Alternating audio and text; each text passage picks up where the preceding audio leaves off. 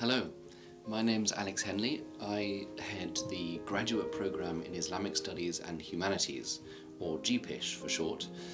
Um, GPISH is a unique three-year program. It's fully scholarship funded, and during the three years you complete two master's degrees. The first two years you spend at the IIS in London, doing a master's in Islamic Studies.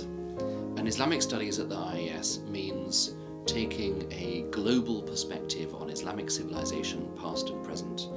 Um, we think about um, how and why Muslims in different times and places have, um, have interpreted their tradition differently, um, and how that plays out in Muslim life, whether in politics or in the arts, um, and beyond just the mosque or the Jamaat Khana.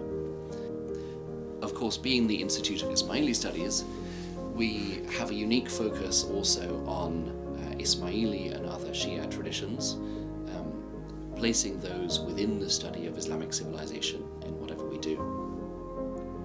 Um, after two years of Islamic studies at the IIS, you can go on to study um, a master's of your choice in any field of the humanities and social sciences at another British university. Um, so that's why we call it Islamic Studies and Humanities.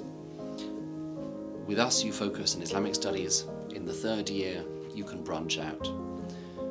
But we also use the Islamic Studies curriculum at the IIS as, as kind of a crash course in the humanities and social sciences. So through the lens of Islam and Muslim civilization, you'll learn you'll learn to apply the perspectives and methods and different ways of thinking that you find in different disciplines of the humanities and social sciences. Um, and at the end of the two-year program at the IIS, you get the chance to do a research project of your own, um, taking the methods of one of those disciplines and applying it.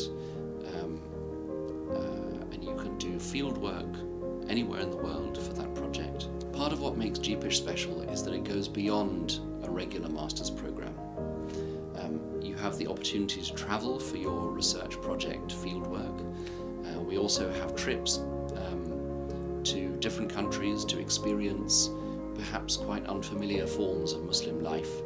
Um, so that includes a trip to Spain normally um, to see uh, some of the Islamic heritage of Europe. Um, we also, uh, as part of the Arabic component of the GPISH program. Um, you'll usually travel to Jordan, um, spend a month there, uh, experiencing again perhaps um, uh, quite a different Muslim culture. For me, one of the really exciting things about GPISH is, is you. It's bringing together uh, a really varied group of students from all over the world with different backgrounds, different experiences of what it is to be Muslim or Ismaili and engage with your heritage, um, but also different, uh, different ambitions, different goals, different interests, and bringing those together into one class um, uh, creates this space in which we're all learning together, and that's really exciting. So I hope you'll apply. We're here for you.